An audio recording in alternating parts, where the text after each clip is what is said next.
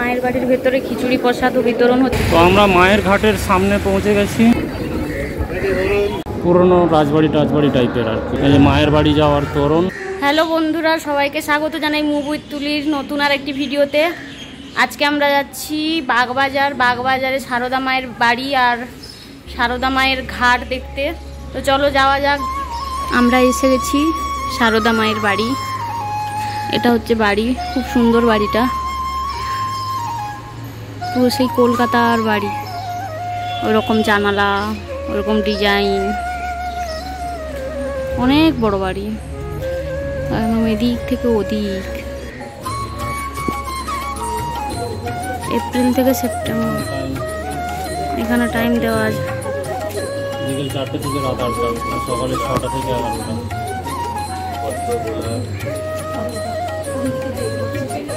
শ্রী শ্রী মায়ের বাড়ি।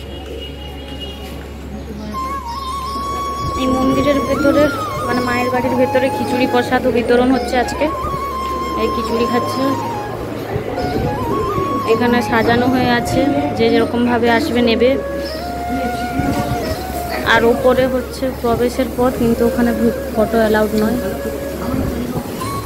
এই হচ্ছে মায়ের স্ক্রিনে দেখা যাচ্ছে মায়ের ঘর ফটো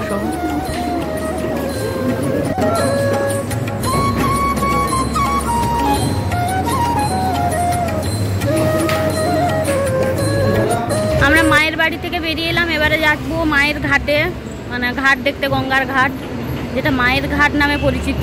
তো বাড়িটা বেশ ভালো লাগল। দোতলায় যে ঘরটাতে উনি থাকতেন বা যে ঘরে ওনার সমাধি হয়েছিল, তো ওই ঘরটা দেখলাম। ভালো লাগল। আর আজকে একজন মহারাজ এসেছেন, যার জন্য একটু প্রচুর ভিড়। লোকে লাইন টাইন দিয়েছে প্রণাম করার জন্যে। আর আমরা খিচুড়ি খেলাম। প্রসাদ হিসেবে খিচুড়ি বেশ ভালো লাগল। এখন বেরিয়ে এসেছি, বেরিয়ে এসে ঘাটে যাব। চলো ঘাটে যাওয়া যাক। এখানের ঘাটে যাওয়ার দিকে রাস্তাতে সুন্দর সুন্দর এরকম মূর্তি আছে। তো আমরা মায়ের ঘাটের সামনে পৌঁছে গেছি। এই রাস্তাটা পেরোলেই। এদিকে এরকম একটা পুরনো বাড়ি। এই যে কি নাসা বেকারি কিচেন। এই যে তোরণটা খুব সুন্দর দেখতে, সাদা। এবারে পুরো গঙ্গার ঘাটে এসে পৌঁছেছে। এটা দু হাজার পাঁচ সালে উদ্বোধন হয় পয়লা ফেব্রুয়ারি। এই যে বাগবাজার স্টেশন এই ঘাট। হুম? হ্যাঁ।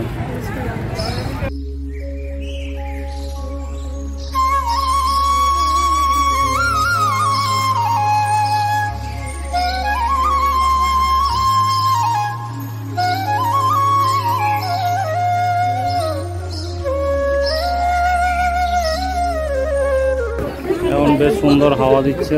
ঠান্ডা ঠান্ডা।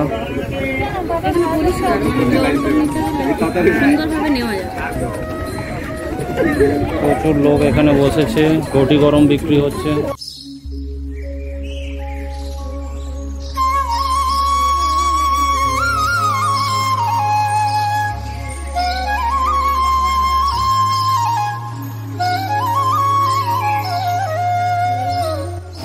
তো মায়ের বাড়ি থেকে বেরিয়ে এসে এই যে নেতাজি স্পোর্টিং ক্লাব এখানে বাগবাজার নেতাজি স্পোর্টিং ক্লাব এই ক্লাবের কাছে একটা পার্ক আছে। এখানে সুন্দর গণেশের মূর্তি।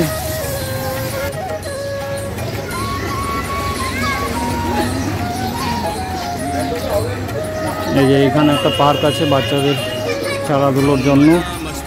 তো এই পার্কটার নাম হচ্ছে এই যে হেমেন্দ্র কুমার রায় শিশু উদ্যান। ওয়ার্ড নম্বর সাত। হ্যাঁ আর বাচ্চাগুলো বিশাল মজা করছে। আর এই যে পুরো পার্কের দৃশ্য।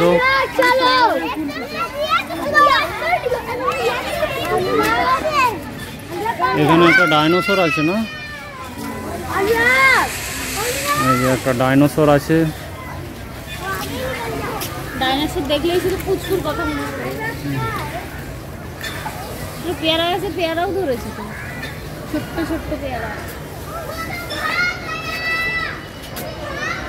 এই এরকম পেয়ারা হবে আর গাছ থেকে যখন মানে একটু পেকে পেকে আসবে খাওয়ার মতো হয়ে গেলে পারবে আর খাবে কিছু তো, হেভি লাগে।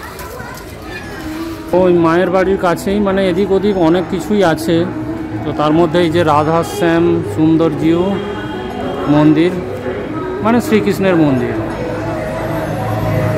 এটাও একটু বাড়ি বাড়ি টাইপের দেখতে, কিন্তু এটা একটা মন্দির।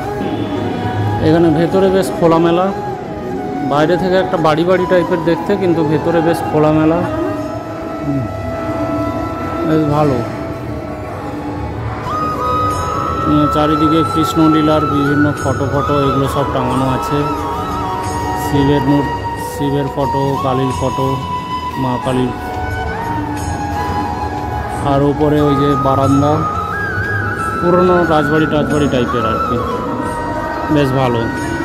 নিচে এরকম আলপনা আঁকা আছে। চারিদিকে মার্বেল পাথর দিয়ে বাঁধানো। ভালো, বেশ ভালো এই মন্দিরটা। এবং শান্তশিষ্ট একখানা জায়গা। বাইরে মাইক ফাইক বাজছে, কিন্তু ভেতরটা বেশ ভালো। এই যে রাধাকৃষ্ণের মূর্তি দেখা যাচ্ছে। এই মায়ের বাড়ির সামনে এখানে একটা প্রোগ্রাম হচ্ছে মানে ওই বাইরে এরকম অনেক লাইট ফাইট দিয়ে প্রচুর সাজিয়েছে। আর এই হচ্ছে তোরণ এই যে মায়ের বাড়ি যাওয়ার তোরণ। তো এটা রামকৃষ্ণ মঠ থেকে এই তৈরি তৈরি করা হয়েছে এই গেটটা। এটাও লাইট ফাইট দিয়ে সাজানো হয়েছে। এটা সাজানোই থাকে সব সময়।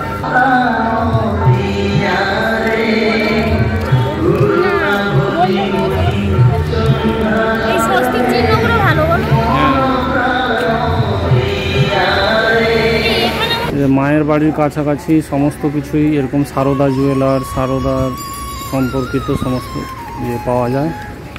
মানে ফটো ফটো থেকে শুরু করে পুজোর সামগ্রী এইসব। ফুল টুল এখানে এগুলো পাওয়া যাচ্ছে।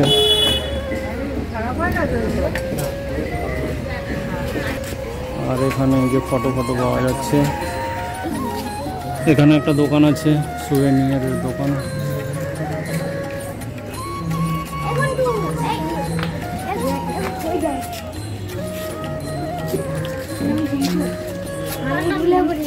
কাছে আমার আমার ছোট আমার বড় ভাইয়ের নাম। এই তোর নাম কি? আমার? হ্যাঁ? খারাপ ঘন্টু তাহলে কেন ঘন্টু কারুর নাম না? আমি ভুলে পরে আমার বড় ভাইয়ের নাম লিখেছি। তাহলে তোর নাম আমার নাম সুশ্রী মন্ডল আর তোর নাম? সোনাম। সোনাম কুমারী। সোনম কুমারী। তোদের বাড়ি এখানে? না আমার বাড়ি ওখানে। আর বাড়ি এখানে What is that?